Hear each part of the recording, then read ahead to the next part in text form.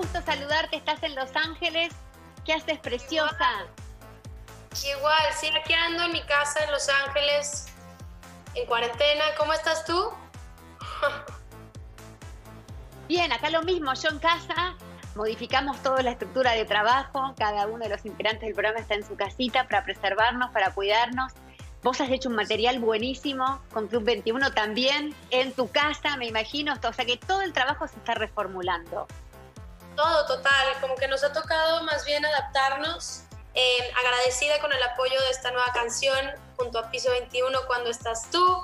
Eh, Piso 21. De hacer una canción con sí. que son como hermanos para mí. Y pues bueno, celebrando. Ahí pueden ver en la pantalla un poquito el video, que grabamos el video, ¿sabes? En nuestra casa, con nuestro celular. Fue toda una experiencia. Mira. Eso, ¿no? Porque lo, lo que ha traído esta pandemia este, mucha tristeza por, por muchos, muchos motivos que, no, que todos sabemos y que no hay que explicar, y también el despertar de un montón de formas de trabajo, de comunicación, de creatividad, de arte, esto que vos estás contando, ¿no? Como artista laburaste y trabajaste sobre este concepto en tu casa, los chicos también, y quedó esto maravilloso que estamos viendo. Total, a mí me ayudó mi roomie, que es mi mejor amiga, a grabarme, a Dean, su mamá, le estaba ayudando a grabar el video creo que los directores hicieron muy buen trabajo y, exacto, siento que en momentos difíciles es cuando nos toca ponernos más creativos, ser un poco más todólogos, que es, que es como literalmente hacer de todo y, bueno, este, es como el lado bueno de todo esto y siento que al final ya la música cura, entonces, este, pues pongan mucha música, especialmente en estos momentos que, que estamos viviendo. Claro.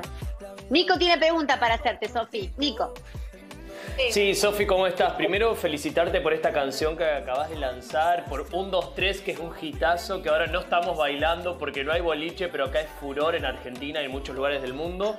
Y preguntarte por eso, porque leí una entrevista donde dijiste que estás muy activa en cuarentena, no solo con esta canción que sacaste con Piso 21, sino que sacaste otra con Tini Tempa, una colaboración en abril con Michael Bublé. ¿De dónde sacás tanta inspiración en este momento que por ahí es como complicado eh, para no detenerte y seguir creando?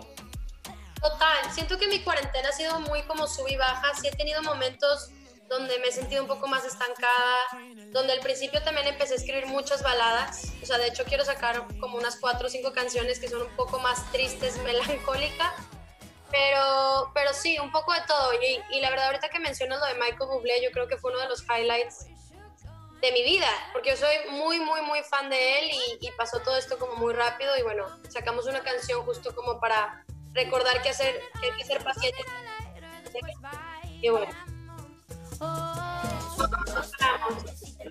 Vos sos fan, Sofi, sos fan de Michael Bublé, que está casado con Luisana Lopilato, que es una actriz argentina, hoy estrella internacional. Vos sos un artista internacional. ¿Conocés a Luisana? ¿Seguís sus pasos? ¿Sabés algo de su carrera cinematográfica? ¿Ha hecho películas afuera también? Claro, yo, yo sabía mucho de ella también. Eh, y ahorita, o sea, bueno, conociendo a Bublé, hablando con él y todo, me la presentó a ella, también estuve hablando un rato con ella, platicábamos de la cuarentena, porque era como el principio de todo, eh, y me contaban que, también, por un lado, es la primera vez que pasan tanto tiempo en familia, ¿sabes? Como sin estar viajando tanto y que, ellos lo agradecen también mucho, como que viendo el lado positivo, ¿no? De este lado. Y pues fue una experiencia muy padre, conocer a toda la familia, hacer esta canción, eh, y bueno, ellos pronto. La verdad que todavía no me lo creo, porque aparte mi papá siempre me dice, yo llego a tres artistas y son sí. Michael Bublé y tú. O sea, entonces él, yo colgué con Michael Mira. y papá, te vas a morir con, lo que te va a contar, no lo vas a creer.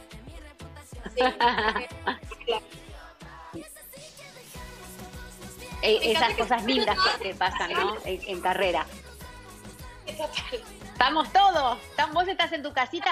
Dijiste que estás compartiendo cuarentena con tu roommate, con Daniela, ¿no? Daniela dijiste que se llama, tu compañera de casa. Pasamos como de mejores amigas a hermanas. Sí. Mira. Muy bien. Te cuento que Tami, nuestra compañera, está viviendo una experiencia similar con una amiga hermana. Todo tuyo, Tamara. A ver. Sí, yo creo que es la mejor opción, porque escucho que los que quedaron con su pareja se empiezan a pelear. Eh, los que quedaron con la pareja lejos la extrañan. Nosotras que no tenemos pareja, nos juntamos con una amiga y convivimos. No sé si ustedes hacen lo mismo, si se dividen las tareas, una cocina, la otra limpia, cómo se manejan con eso. Pues a lo mejor, eh, la verdad en este caso, yo soy como de voltear toda la casa y volverla a poner y como así. Y Daniel es más de cocinar.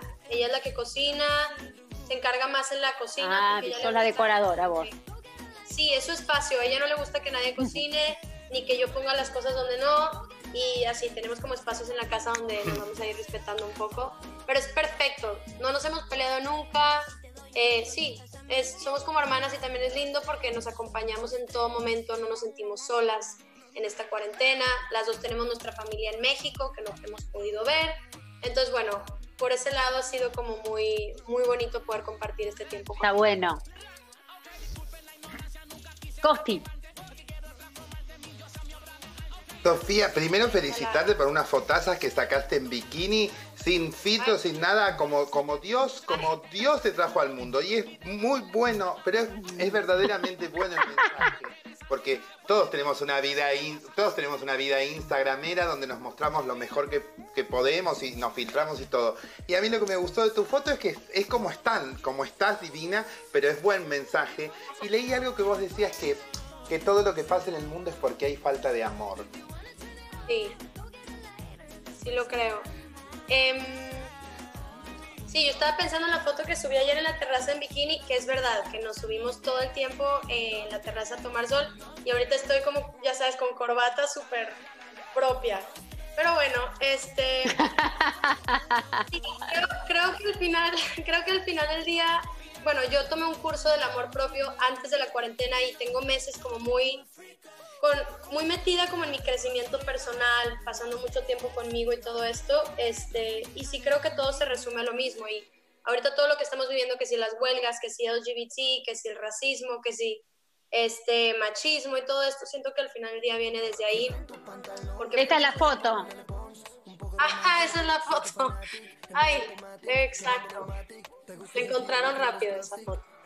Muy bien.